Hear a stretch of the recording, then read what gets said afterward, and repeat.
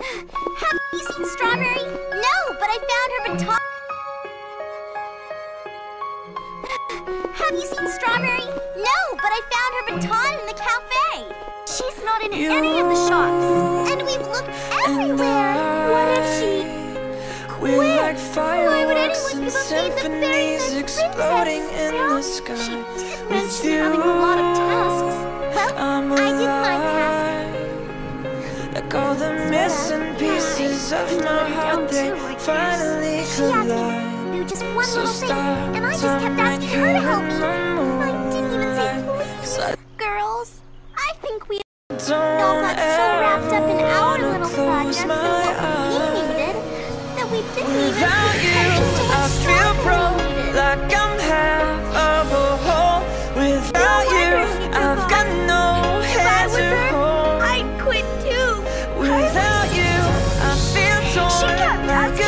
help each other and instead we're just rude to each Without other. You, I was mean. I'm and Juliet, the Duke.